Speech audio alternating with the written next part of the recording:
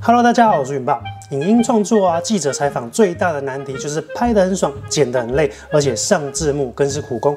现在介绍你一个产品，它是一款可以直接把声音直接转成文字的录音笔。那它可以说话，同时辨识文字，辨识率高达百分之九十五，而且支援中英日韩二五大语种的极录转写。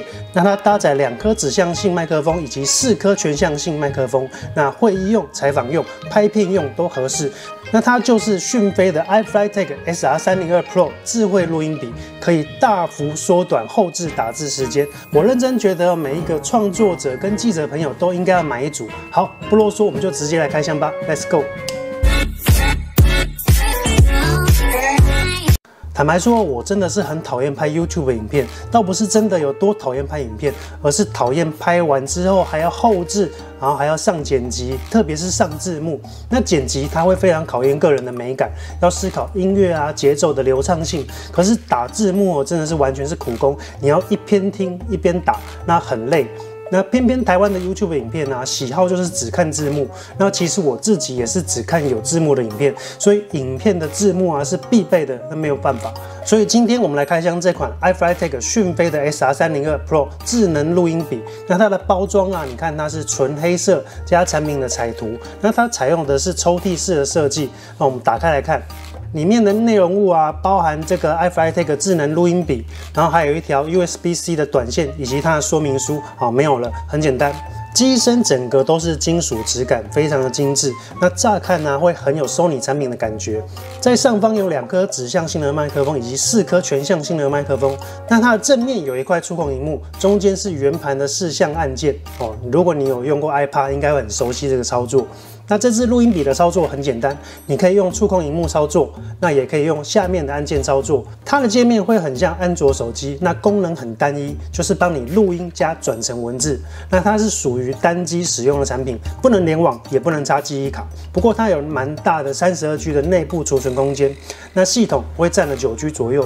不过因为录音档啊跟文字的容量不大，所以非常的够用。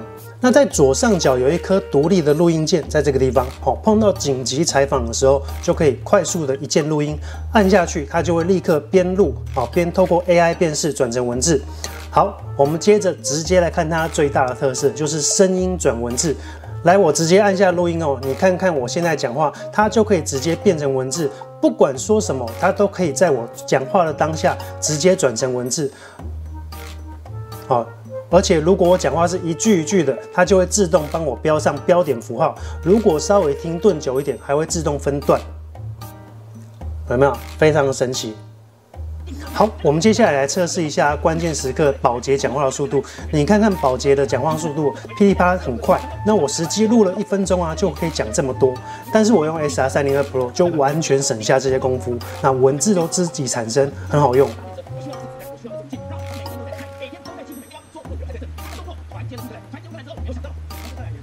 所以这个东西这么好用啊，我就隔天拿去记者会实战。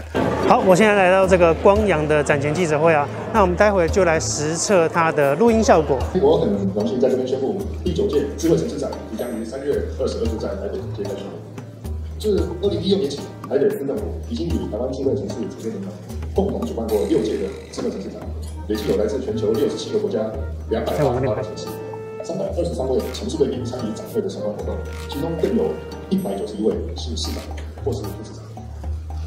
智慧城市长在台北市政府的协助之下，已经成为全球知名的智慧城市展会，同时也是亚洲最大的互联网解决方案展会。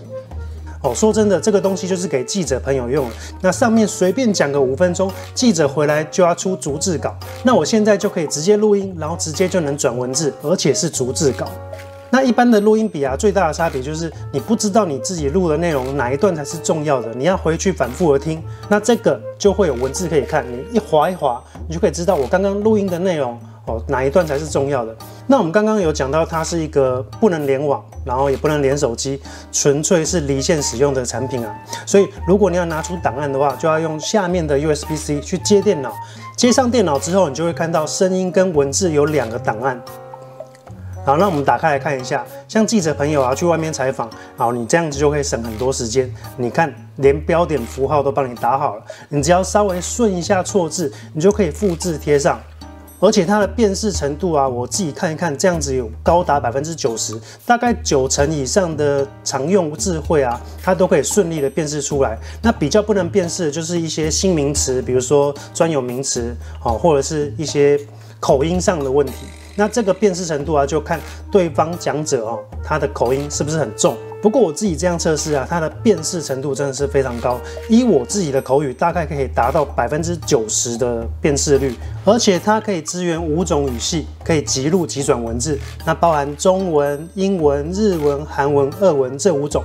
那在录音之前呢，你要先到设定哦这边去更改，才能正式的去辨识转文字。那其他语系我不会讲，我就开 YouTube 来试试看。那如果你看得懂的人，也帮忙看一下准不准。まあ、しかもねこれ漫画盛りね同じ大きさのやつ2杯おかわりして、まあ、合計でね3回食べないとダメなんですよね어マジでやばすぎるちょねオムラ 경고를 내놨습니다. 미국은 나토 회원국들에 대한 공동 방어 원칙을 재확인하면서 만에 하나 침범이 있을 경우 즉각 맞대응하겠다고 했습니다. 워싱턴 所以这支录音笔哦真的是很方便。现在有这支录音笔的介入啊，我拍影片哦就会很省事。那我现在来分享一个我现在实际拍 YouTube 影片的流程。那因为我自己啊讲话还蛮会吃螺丝，所以每次拍影片哦就会 拍很多很多的废片。那这时候我就会照正常的流程来拍影片，那正常的收音。这个时候不用出动 SR 三零二，那整个拍完之后再做剪辑的后置，在初剪完成阶段之后啊，再掏出 SR 三零二去播放我自己的初剪，然后让 SR 三零二去侧录去产生文字。那这个时候你的字幕啊就会非常完整，不会一段一段，真的是省很多的时间，就不用在那边反复听打，然后浪费时间。你知道我以前剪一部八分钟的影片啊，光字幕我都要搞四个小时。那另外，我刚刚在前面呢也有特别强调的是，它有六颗麦克风，所以我们来分享一下它跟手机录音无线麦克风的录音音质的差异。好，我现在来测试一下它的录音品质。那我现在手上拿的是 iPhone 十二 Pro Max 好，以及 SR 三零二 Pro 的录音笔，还有我身上的别的这个 Wireless Go 哦。那这三个啊都是我平常会用到的这个录音器材。那十二 Pro 是比较紧急的时候会拿出来啊，随手录的一个录音器材。好，它很方便，但是它的收音品质是全向性的，而且它的降噪效果其实没有想象中的好，它会不分方向的去收音。那 SR 三零二啊，它最方便的就是它可以边录，然后边把我的声音全部转成文字。那 Wireless Go 啊，它也很方便，而且它的降噪效果是比较好的。可是它的缺点就是它只能针对我这个麦克风以上这个地方去收音。那如果收的位置呃比较偏的话，比如说我像我正在采访，它就没有办法收得很清楚。那 SR 三零二啊，它的六颗麦克风，它可以针对不同的方向去做不同的模式去切换哦，比如说采访模式，比如说会议模式，或者是这种演奏者模式，它都可以收得很清楚，而且它降噪效果也不错。你看我现在是在这个街道上，那如果我切到这个 iPhone 十二 Pro Max 的话，那你就会听到呃外面的车声非常的大，哦，非常的大。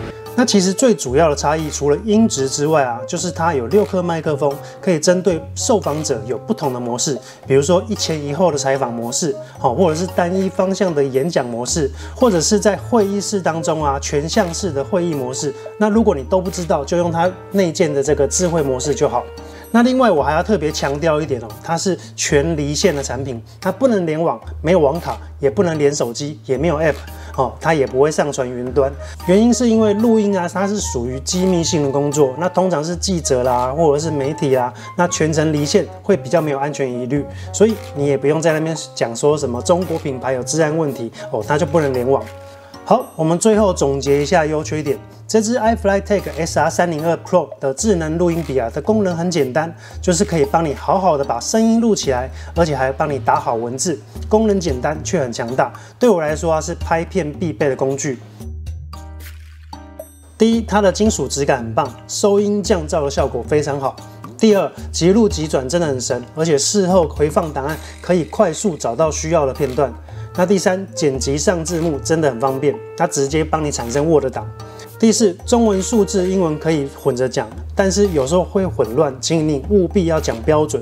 第五，预设只能选择一种主语系，比如说你要用中文就全部用中文，哦，用日文就全部用日文。如果你是混搭的，比如说中日、日韩，哦，这种它就没有办法混合辨识。第六，因为它是全离线的机器，所以在外面呢，只能透过传输线进行存取档案。那说真的，我还是会比较想要连手机，会比较方便。第七，它没有脚架孔，也没有收纳袋，它没有附收纳袋，所以你要去录音的话，你可能全程要手持，或者是找个地方把它放着。那目前呢，这个 iFlytek SR 三零二 Pro 智慧录音笔是由台湾代理商思维宝蓝科技总代理，有一年保护。